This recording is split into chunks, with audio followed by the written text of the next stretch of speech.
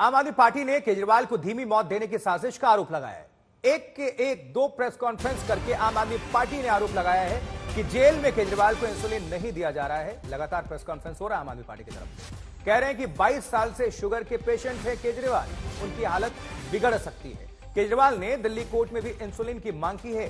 सोमवार को इसी अर्जी पर कोर्ट का आदेश भी आना है। सबकी निगाहें सोमवार पर हैं।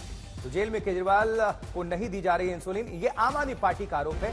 प्रेस कॉन्फ्रेंस करके आरोप लगाया गया। पैच लगा हुआ जैसे मैं जेल में था, मुझे पैच लगा हुआ था।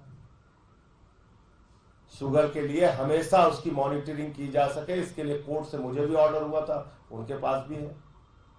किसी भी समय वो अपनी शुगर चेक कर सकते हैं। इसके बावजूद आप उनको क्यों नहीं दे रहे हैं इंसुलिन?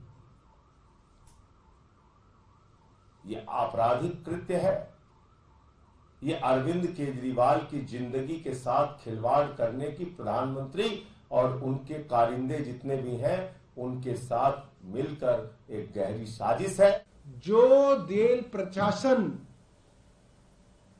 एक बढ़ती हुई शुगर के मरीज़ को इंसुलिन देने के लिए तैयार नहीं है, उसके खिलाफ खबरें प्लांट कर रहा है रोज। क्या आप ऐसे जेल प्रशासन के ऊपर ये भरोसा कर सकते हैं कि वो मुख्यमंत्री को वहाँ बचाने के लिए बैठे हैं? मेरा मानना है, वो मुख्यमंत्री के खिलाफ एक बड़ा षड्यंत्र कर रहे हैं।